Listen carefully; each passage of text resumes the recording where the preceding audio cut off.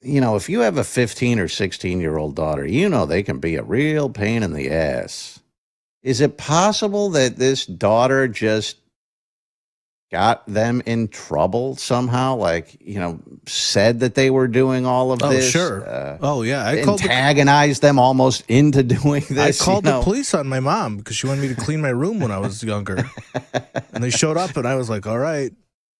This bitch is about to go Face down. on you, she's About bitch. to, She's about to go down. And then Uh-huh. uh, they immediately were like, "Cle- clean your room or we're going to arrest you, basically. And I was like, oh, this is not going in my favor. So, yeah, I think How uh, old were you at the time? probably 12, 13.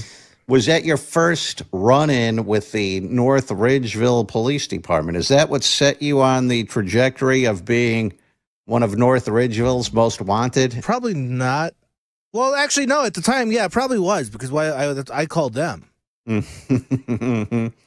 Mom's trying to make me clean my room. And then, uh, How do you think that goes out through dispatch? 911, what's your emergency? Hey, listen up. I need you to send someone over right now. What's the nature of your emergency, sir? My mom is abusing me. She's making me clean my room against my will. She's abusing her power. I understand you're upset, sir, but is there any immediate danger or threat to your safety? Yes, the threat of being subjected to this oppressive regime. This is a violation of my rights. Sir, I can assure you that making you clean your room is not a violation of your rights. Have you tried discussing this with your mom? I don't negotiate with authoritarians. I demand you send officers right now to arrest her for tyranny. This is unacceptable. We usually don't intervene in domestic disputes over these things. You should probably clean This is an room. outrage. I'll remember this.